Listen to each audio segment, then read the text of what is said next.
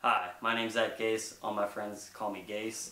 One reason I think I'd be a really good fit for this internship is that I'm going to offer a different view than most people applying for this position. Today I'm trying the Sweetwater IPA from Atlanta, Georgia. One thing you should know about me is I'm a hometown boy. I love St. Louis. My favorite beer from there is Ferguson Brewery Pecan Brown Ale. They pack so much flavor and it's really good. Uh, one thing about me that you can find like my passion for beer is the way other people see me. For example, uh, my fiance bought me this uh, beer cap mat.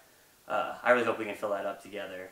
Uh, well, another reason that I think I'd be a really good fit is that my family's into the craft beer scene. Me and my sister and my cousin always go out and try different beers.